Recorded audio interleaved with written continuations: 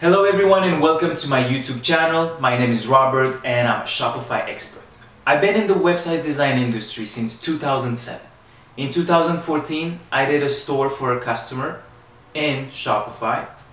And from there, I played with it, I learned it, and I fell in love. That's why by the end of 2014, I decided to concentrate my business only on Shopify because I know it's a great platform and I can grow with it. Now I've created this YouTube channel to help you master Shopify.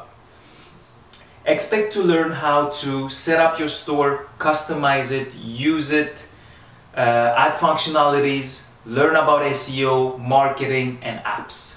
But most importantly, I will answer your questions every week.